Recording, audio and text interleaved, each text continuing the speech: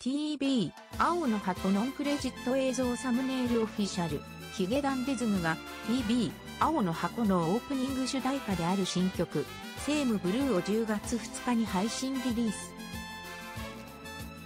楽曲を載せた青の箱ノンクレジット OP 映像が公開された。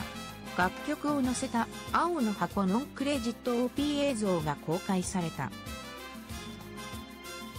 大輝と千夏が部活に打ち込み、恋に揺れる様子が鮮烈に描かれ、青春の青さをまっすぐな疾走感を持って書き上げた、オフィシャルヒゲダンデズムのセームブルーが彩る見応えのある映像に仕上がっている。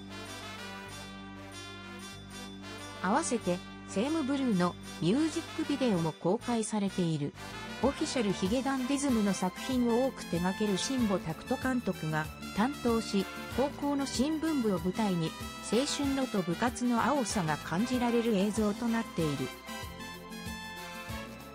ヒゲダンのメンバーが丸く切り取られた青空の前でパフォーマンスする姿も印象的。オフィシャルヒゲダンディズムはメジャーサイドアルバムリジョイスを7月24日に配信リリース。7月31日に CD リリースした。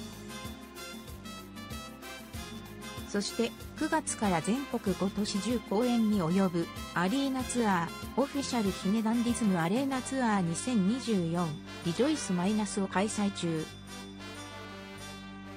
福岡マリンメッセ福岡栄館を皮切りに神奈川 K アリーナ横浜大阪大阪城ホールなどを巡るアリーナツアーとなる。さらに12月にはソウルと台北にて初のアジアツアーオフィシャルヒゲダンデズムアジアツアー2024リジョイスマイナスを開催する。